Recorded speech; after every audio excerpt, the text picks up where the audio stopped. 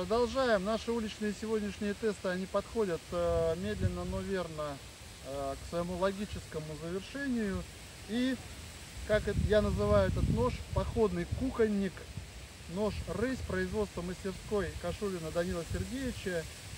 Предоставлен автором ножа, здесь даже вот э, надпись «Заруба 2017». И Паша только что сказал, что нож выглядит э, просто прекрасно, если убрать только вот эту вот гравировку непонятную с клинка. Давай, твои, твои впечатления. Мне этот нож, как только его взял в руку, сразу на- напомнил известный дизайн спайдерка. Вот.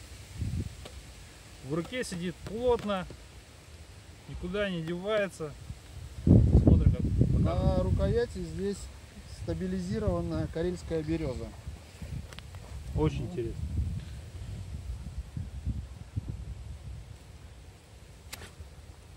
Справился с задачей. Все отлично. Претензий нет.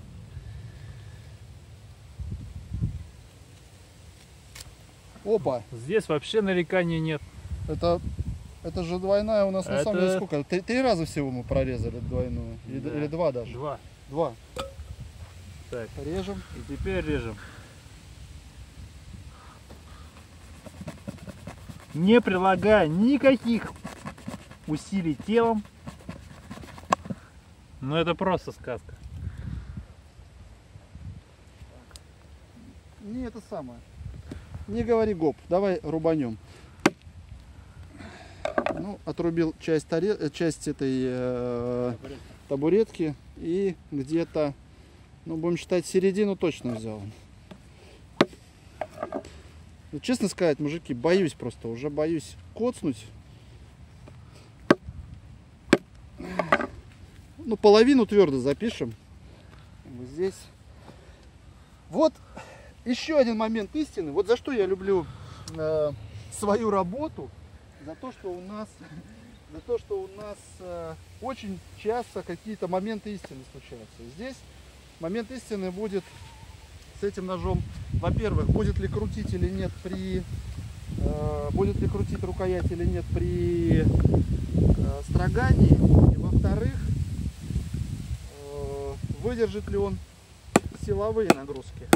Ну, я скажу честно, а, чувствуется, конечно, что нож по сравнению со своими соперниками, он очень легкий, самый короткий в зарубе клин. А, 100, если мне не изменяет память, здесь ровно два сучка здоровенных пошло. 130 136 что ли миллиметров.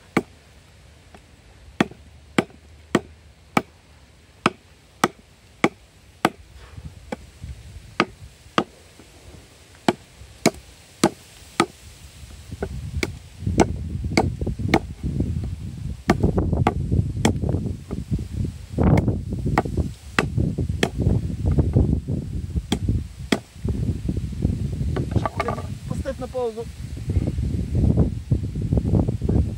Ты да? Ну, Что у меня ну, клинок действительно короткий, глаз уже слегка устал, видите, здесь я начал уходить выше от сучков.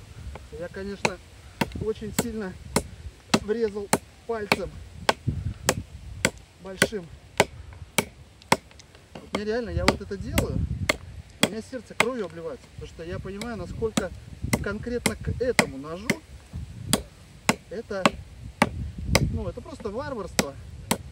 И бессмысленное совершенно варварство.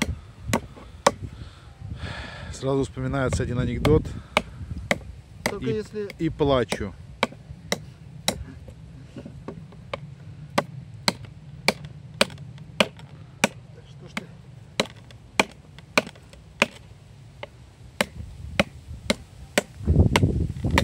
О!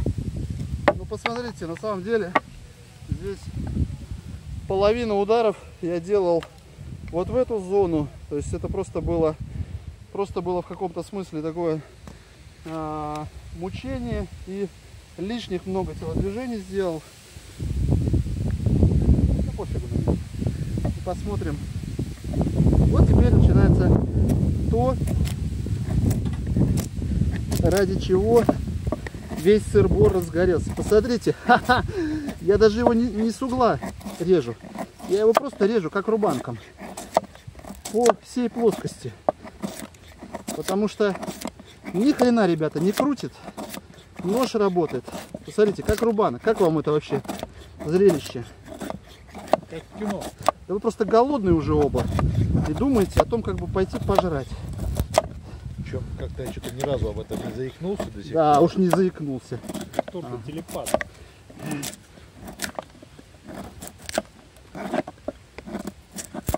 Как Просто рубанком. ну, реально как рубанком, потому что ровненько. вот здесь и не крутит совершенно рукоять. Вот что я боялся, что будет кисть крутить. С учетом того, что предплечье думаю, уже... что ты можешь остановиться, мы уже все поняли. Нет, подожди. Ну, Я Зави- могу, Ты что, завелся? ты можешь, но зрители скажут, до конца не сделал. Ну это капец просто. Посмотрите. Урок труда в начальной школе. Реально. Реально рубанок. Реально рубанок. Просто, просто. Я тащусь, когда я вот такими ножами работаю, реально. Это просто кайф. Это как пострелять в тире. Так. Это как пострелять в тире бесплатно, правильно Андрюха сказал. Это было просто железное уточнение. Прошу. Просто, это просто, просто какой-то капец. Праздник, Ну просто праздник стружки.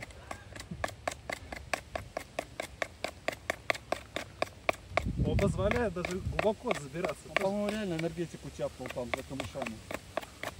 Да нет, он девочек увел просто, проходящих мимо, как бы, все нормально. Зачет. Так, ну что, вот это вот все, вот это вот все добро мы увидели, что у нас здесь получилось. И дальше самый, самый сложный момент. Вот одна интрига была в том, будет ли нож э, крутить при строгании. Самая главная интрига э, заключается в том, убьется он или не убьется на Так, подожди. А вот сначала да. А то как-то не светит мне. На батонинге. Не бойся, дружок. Это не больно.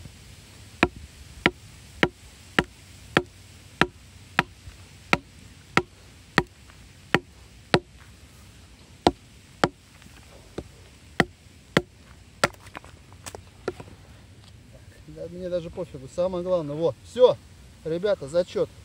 Смотрите, никаких искажений картинки. Клинок полностью выдержал. Это вот самое было мне, самое страшное для этого ножа было, это именно что я боялся, что на батонинге его просто нахрен оторвет кусок, потому что очень, очень тонкая, очень тонкая здесь, понимаете, это прямые спуски от обуха, широкий клинок, и вот это место очень тонкое. Я, я думал, что если буду батонить, просто может вырвать кусок режущей кромки. Опа! Ну, совершенно остался палец у меня недосягаемый до режущей кромки. Он встал ровно в упор. И, конечно же, это чувствительно, потому что, ну, здесь э, именно сталь есть сталь. Но рукоять совершенно травмобезопасна. Здесь даже без, без вариантов. Так, ну что, еще один момент истины. С этим ножом вообще все не так просто. Опять же, широкий клин, деликатный, прямо скажем, для таких работ кончик. И посмотрим, что он из себя изобразит. Я чем больше переживаю за то, что я сломаю нож, тем агрессивнее я делаю работу. Ну вот мы добились нужного результата. Смотрим. Нет, кромка целая, кончик не ушел вообще. Все нормально. Ну, и теперь, по идее, должно быть все красиво. Как палку копченой колбасы. Просто безупречно.